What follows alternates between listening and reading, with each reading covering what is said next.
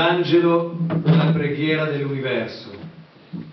E quante notti l'universo si inginocchia davanti a Dio, al colmo della notte o al ritornar della luna. E quante volte l'uomo si inaridisce e risorge durante la sua vita.